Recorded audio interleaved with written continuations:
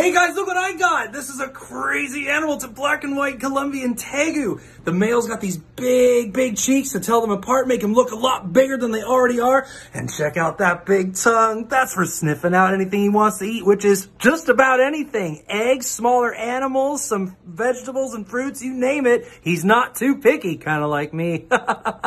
Isn't he great? Only at the Reptile Zoo.